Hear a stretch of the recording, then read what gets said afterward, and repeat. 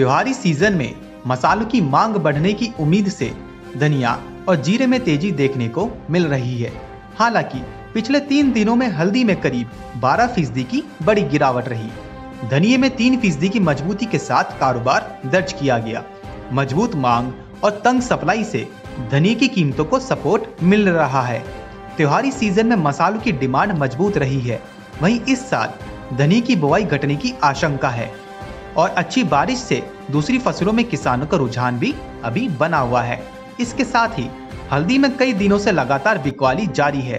तीन दिन में एनसीडीएक्स पर करीब हल्दी के भाव 12 फ़ीसदी तक गिरे हैं।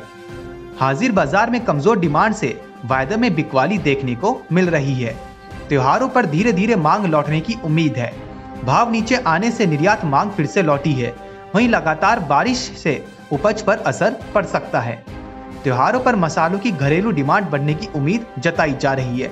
व्यापारियों और किसानों के पास जीरे का पर्याप्त स्टॉक के कारण उच्च स्तर पर कीमतों पर दबाव रह सकता है। सितंबर से नवंबर के दौरान पश्चिमी क्षेत्र में सामान्य बारिश के पूर्वानुमान से गुजरात और राजस्थान में जीरे की बुआई में बढ़ोतरी हो सकती है। अच्छी बारिश से इस साल जीरे की बुआई बढ़ने की उम्मीद है और अच्छी बुआई से कैरी फॉरवर्ड स्टॉक भी बढ़ सकता है।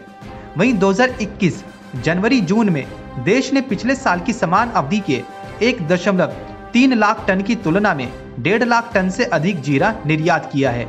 वही जैसे जैसे त्योहार पास आते रहेंगे, मसालों की कीमतों में और उछाल देखने को मिलता रहेगा। Report Market Times, TV.